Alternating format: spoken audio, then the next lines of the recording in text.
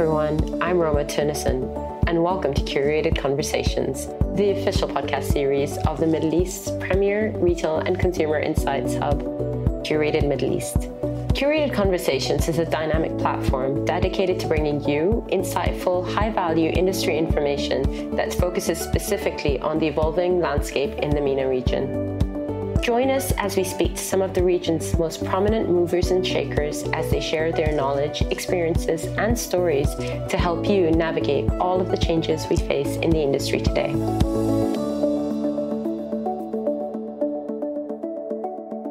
Hey everyone, welcome to the 10th episode of Curated Conversations.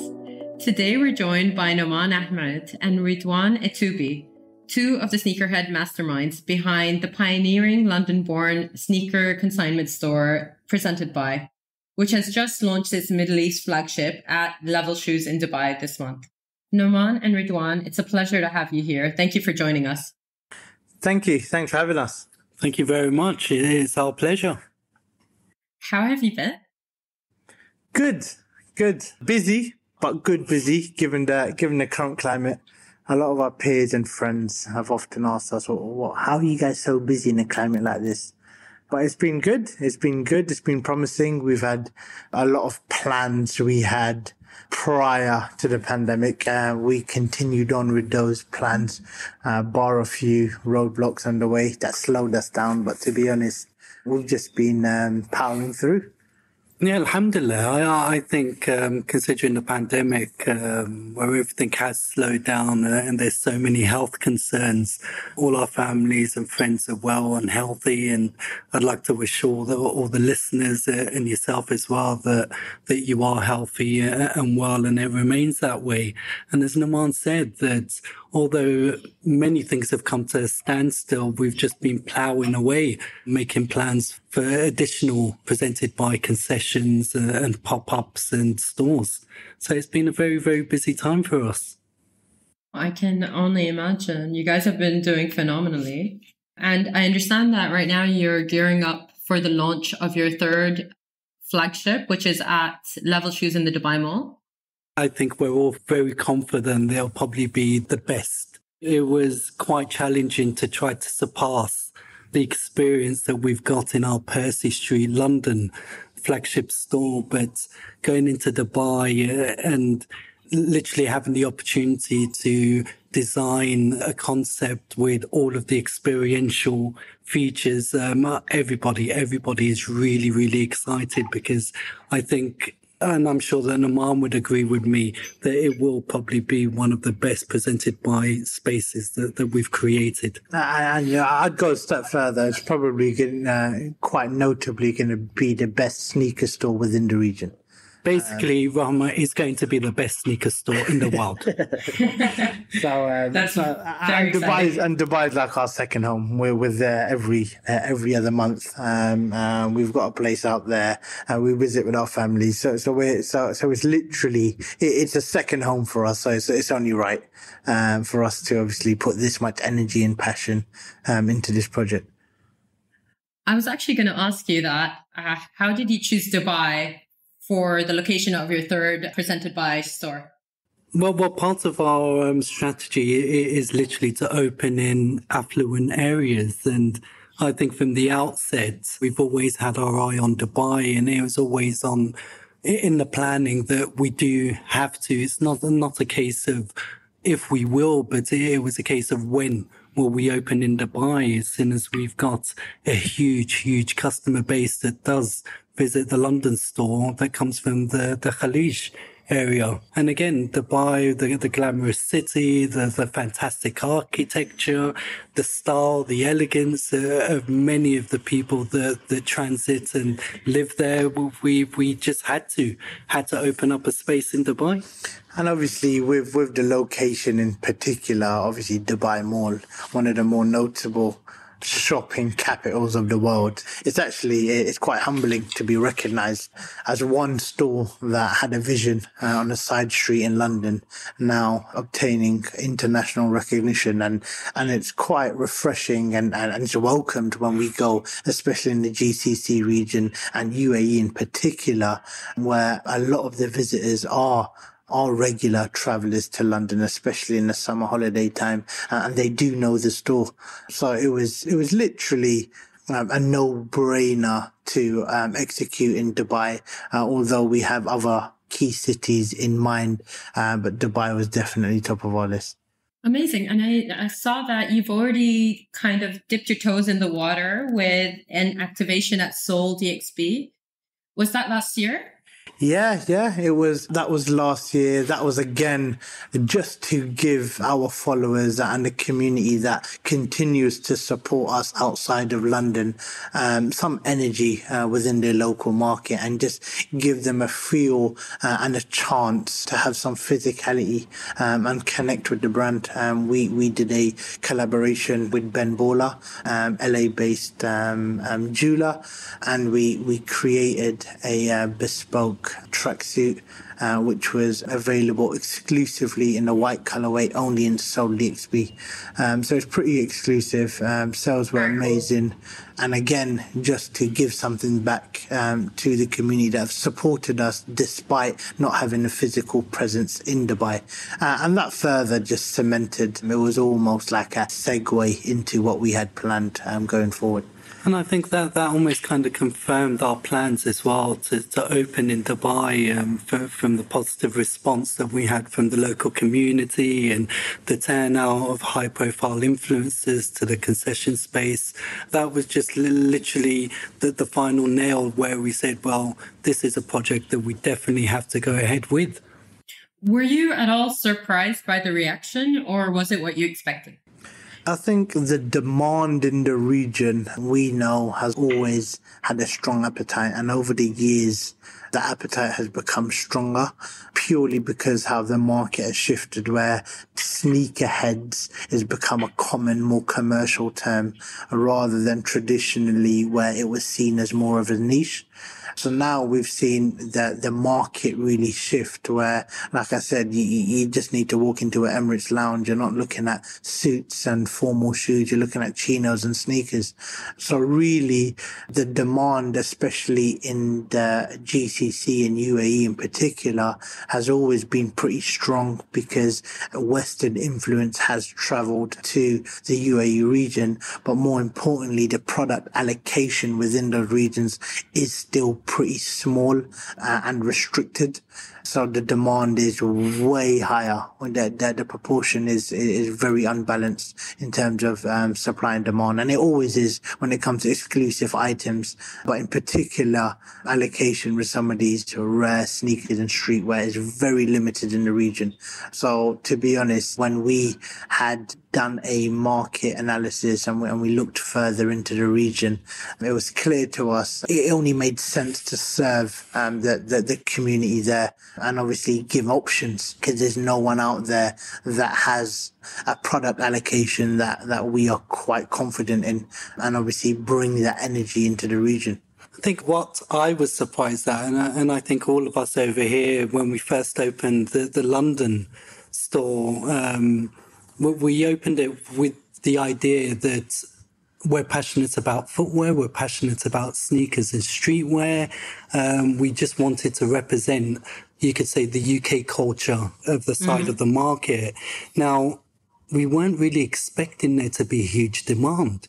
It was literally a project that we'd done simply because of our passion. But as soon as we opened our doors and, and the overwhelming support from, you could say, the local community and people from overseas was just overwhelming. And I think for us, the timing was on our side. Um, I think that's when you could say sneakers and streetwear, or streetwear in particular, took a turn in the sense that it became more acceptable. And it was almost kind of crossing the boundaries between luxury and streetwear, where the gap between the two had become closer.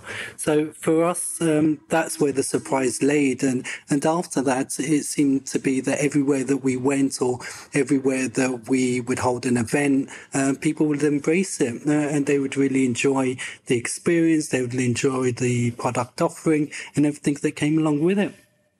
Incredible. And how do you suppose that you've managed to grow a physical retail concept at a time when e-commerce is kind of biting into traditional brick and mortar retail.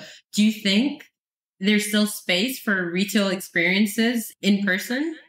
Definitely, um, especially in the luxury market. I think a, a, an, an online consumer is obviously geared around price, um, and it's geared around winning the consumer, um, around competitiveness. For example, if you're looking at the luxury market, we found with our consumers, they prefer to to come into a store, get human touch, be empowered with information about the sneaker industry. And you're talking to sneakerheads serving, serving the consumers. So, so it's very much like I want to come in. I want to understand the market. I want to wear the shoes. I want to try them on. I want to see how they look. So, so you got to remember a lot of the consumers now where we said sneakerheads was a niche, it's become much more commercially aware and people just want to be bang on trend. But to do that, they are very much opinionated and at the same time they take a lot on board with our sales staff. So, so really at a time like this, because of the type of retail we focus on, we focus on experiential retail and leading the consumer by emotion. I think obviously based on travel restrictions and obviously the, the reduced number in, in tourism, yes, that does have an impact. But that has an impact because of logistics, not because of the demand and the appetite. I would tend to agree with Nohman. Um, I think the, the online market is primarily focused on the product itself. You're not just walking into, you could say, a retail store and looking at items on a shelf. Um, I think the design concepts for all of our spaces is thought through thoroughly.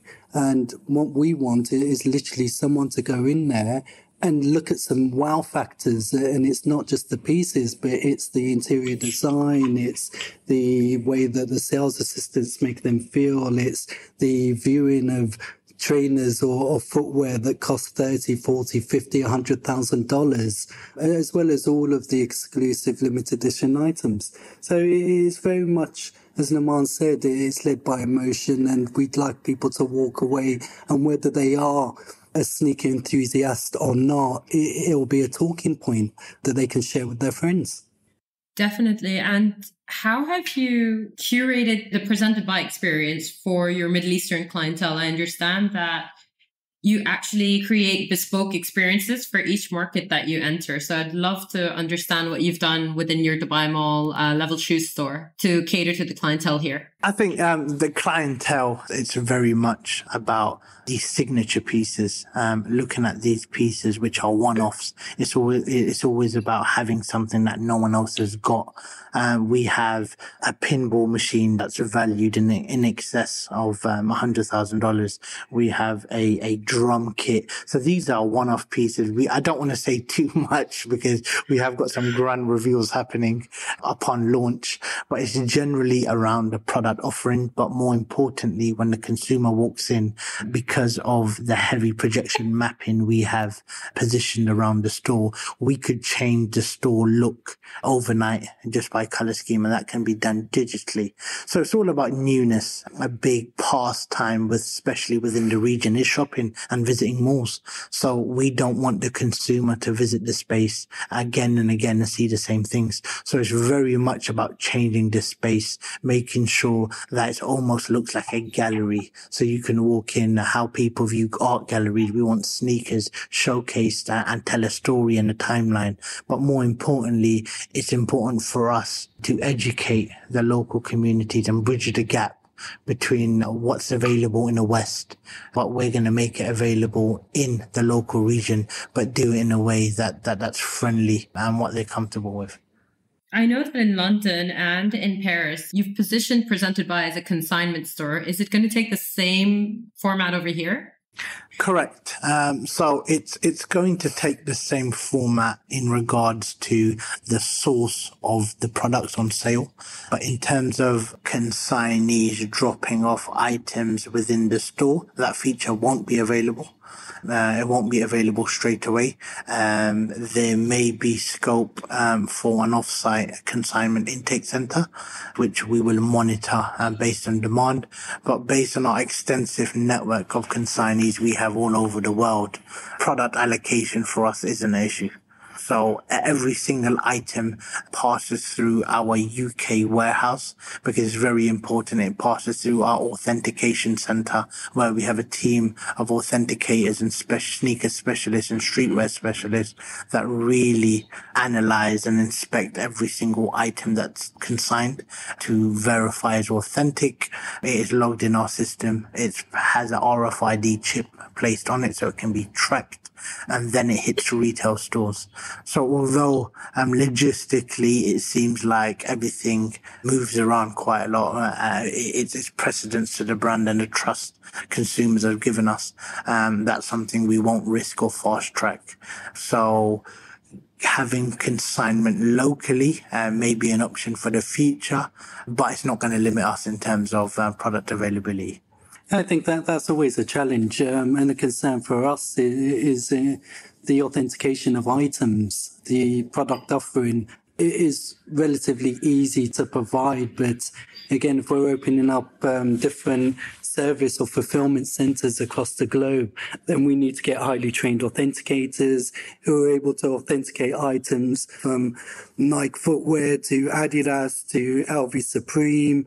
And uh, I think that that skill set isn't easy to find. So we're we're more comfortable with it being controlled and managed over here in the UK at this moment in time. Uh, I think given the appetite for our products in the Middle East, um, as we scale up, then we'll definitely be looking at opening a fulfillment center over there.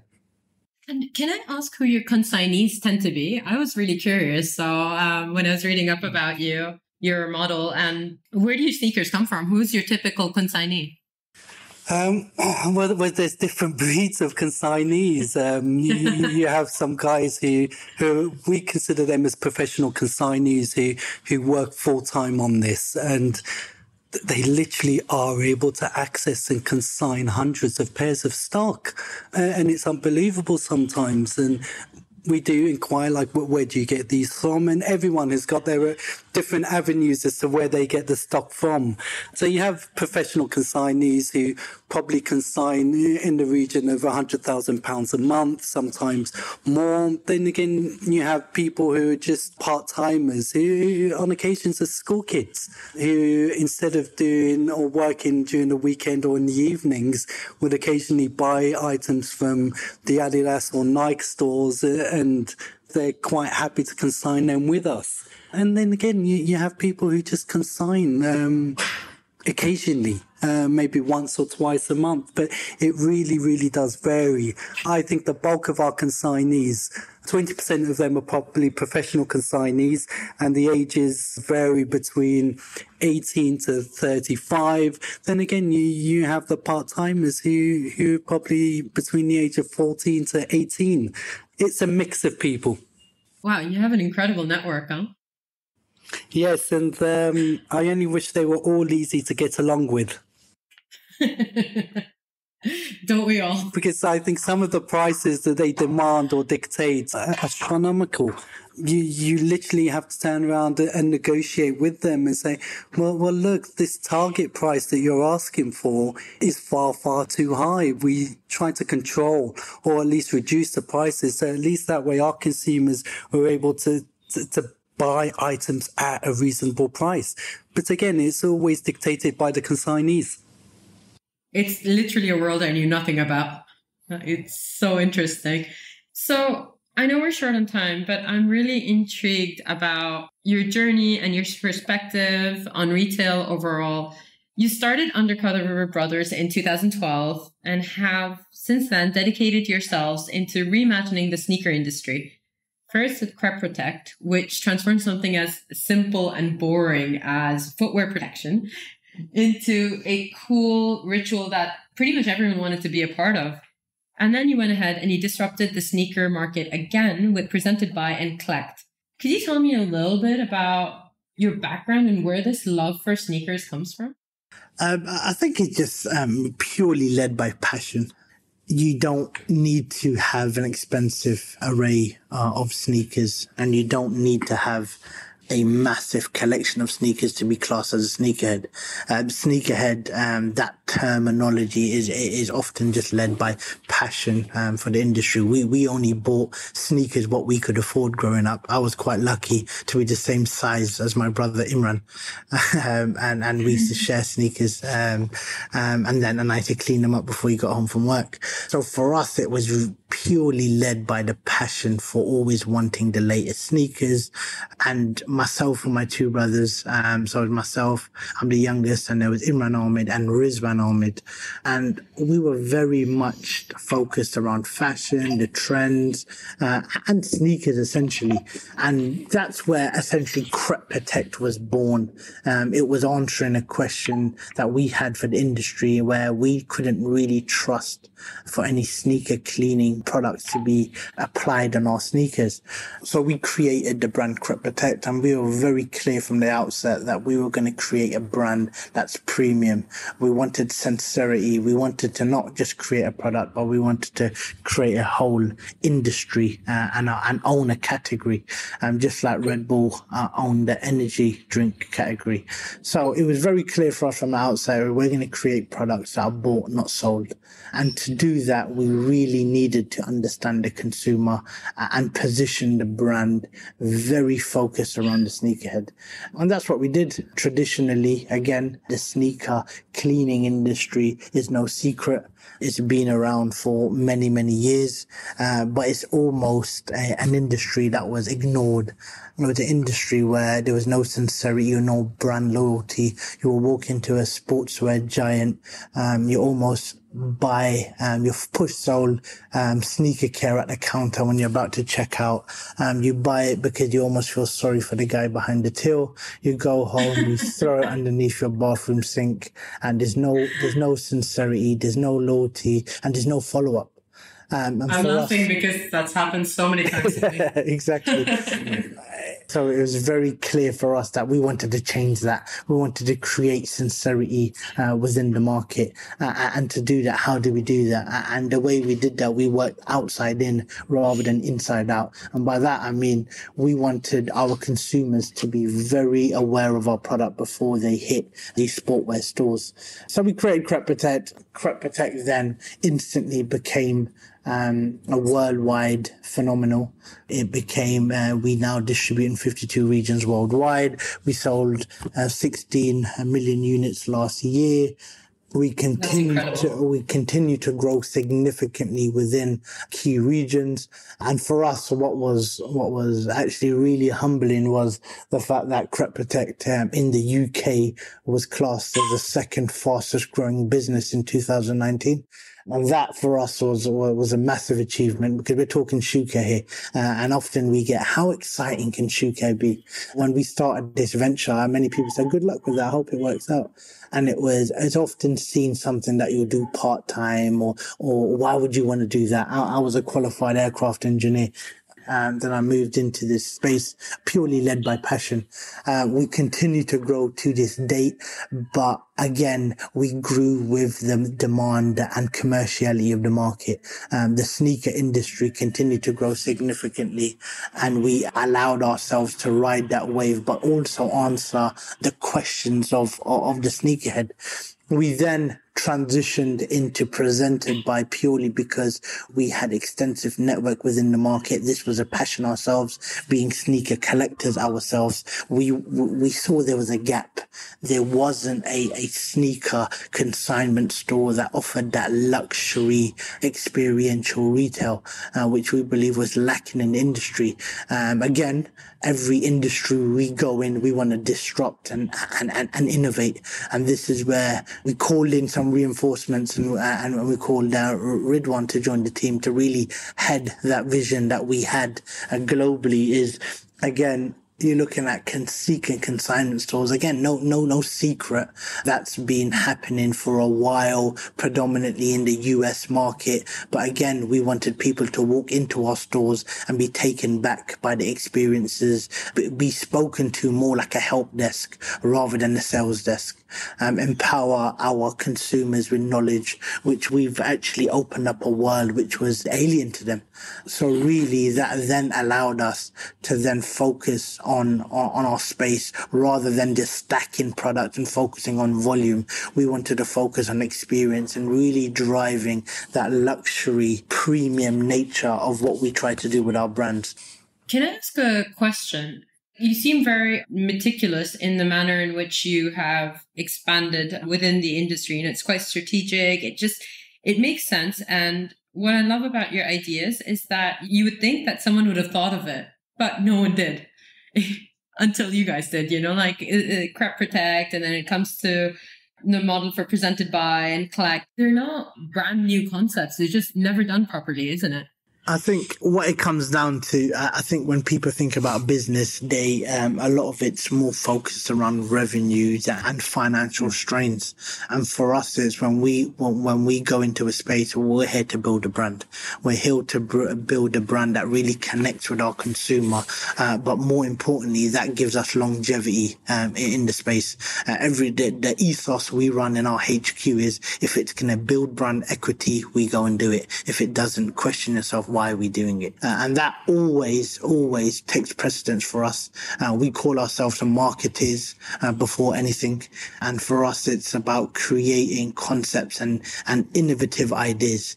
Uh, and, and, a lot of people will say to us, how innovative can Shoecare be? And we've proved it. When people think about Shoecare, we want Crep Protect to dominate their minds. And how we do that is an often challenge for us is to come up with newness every single month and every single week. And so if you even look at the, the age demographic in our HQ is significantly lower than, than a traditional business. And I think that for us, it's focusing on the finances um, um, totally um, doesn't work for us because that overshadows um, the vision. Um, um, and the longevity of what we're trying to build in terms of a successful lifestyle brands. But essentially, that was the vision. No, no, I was just going to say, and I think the success of Crep Protect um, allowed presented by the freedom to represent itself the way that we wanted, um, in, instead of being restricted by how much money is this business going to make? Is it going to make money? Um, let's forecast and project figures for the next two, three, four, five years instead of focusing on the financials, we just wanted to represent what the sneaker community was lacking within the UK and to enjoy ourselves. And I think because of that drive and because of that passion, based on our own taste, it seemed that many, many other people shared the same taste as us. And just to add, as a group, we remain independently owned. Um, we're not we don't have any external shareholders or investors. And that for us, it's a big deal that allows us for speed to market, make decisions, make unorthodox decisions where we'd often, often be challenged by a traditional business model. But in fact, if it feels right for us, um, who says we need to follow a traditional path? We make our own trail. And that, that I was going to say the if you're looking at conventional kind of shoes and brogues and Oxford's um, brogues, then they are conventional. Um, I think nowadays people are more comfortable wearing footwear and sneakers and, and jeans and shirts to work. I, I think the trends have totally changed and we've literally been bang on cue in, in introducing presented by to that. And for me, why I like trainers is they're more comfortable. I simply didn't want to wear shoes at school when I was younger. I remember I used to sneak them into my bag and try to change them yeah, in the classroom. Yeah. Um, and, we always look, look, for loopholes and say, yeah, but, but miss, it, it's all black. Yeah. Um, so, so yeah, for us, it's again, looking at traditional retail, you, you, you buy stock, you buy to, you buy stock enough for 10 weeks cover. If it doesn't sell, it moves, it moves into clearance. And for us, it, it's, you buy stock. Then the more, the more stock you can sign, the longer you hold on to it, the value often increases. Yeah. So it's really, unique way. What would you say is the importance of your partner retailers in other countries holds in translating this vision for you? For example, in Paris, we retail within Bon Marché, and then in Dubai, you have Level Shoes. Is there a particular reason you've chosen these retailers to further your vision for Presented By? Um, I think it, comes down to how we've positioned ourselves. Um, as Lamar said earlier on, there are many, many consignment stores, uh, predominantly in the US, and th- there is no real luxury positioning. We want it to be an affluent premium space where people can literally walk in, whether they want to shop or whether they just want to view the items. And this is why we've partnered with, with the likes of Le Bon Marché uh, and Level Shoes, because again, we share the same clientele. The, the clientele that do like the finer things in life, that do want limited edition and exclusive items, that do want to stand out for, from amongst their peers. And, and these are the exact types of products that we offer. So I'm going to go into my last question, which I've been dying to ask you. Fire away. How many sneakers do you own? mine, mine are scattered around all over the place. I've got some in the office, I've got some at the stores, I've got some at home, some in the car. Um, I, I, I honestly don't know. Um, but, but, but, sorry, I'm, I'm not talking hundreds, less than a hundred. The pair that I've got on at the moment are a very modest pair of Nike Air Jewels, but they're customized because they've got Presentedby on the sole. Um, and I wish I could show them to you. But no, my, my trainer sneaker count is less than 100, I would say, easily. I would say mine's are in the hundreds only because I refuse to throw any of them away. I, refuse to throw any away. Not to say I wear all a hundred and I'm always under pressure at home to um, get rid of some, but it just accumulates. We've been lucky enough to be sent sneakers by the brands as well. So we're quite lucky um, in that sense. But it, it does accumulate over the years significantly. And before you know it, I haven't done that exact count, but I'm sure next time we speak, I'll, I'll give you that. I look forward to getting that answer from you. When are you coming to Dubai? Well, we've penciled it in for around the 9th of December. I will definitely see there. Though it goes to plan, then yes, we'll, we'll be making um, quite a bit of noise during that period. Oh, I'd love to join that noise. uh, more than welcome. Yeah. Looking forward to it. Thanks so much for your time, guys. Thank, Thank you. you. And um, really excited to experience Presentedby at Level Shoes Dubai Mall and uh, meeting you guys as well in December. Thank you. It's a pleasure talking to you. Brilliant. All right. Thanks, guys. Thank Bye. Bye bye. Take care. Bye bye. We hope you enjoyed today's episode, and if you did, please make sure you hit subscribe and leave us a comment below, as we would love to hear from you. Also, be sure to head over to www.curatednow.me and sign up for the official Curated Middle East newsletter. Thanks for listening.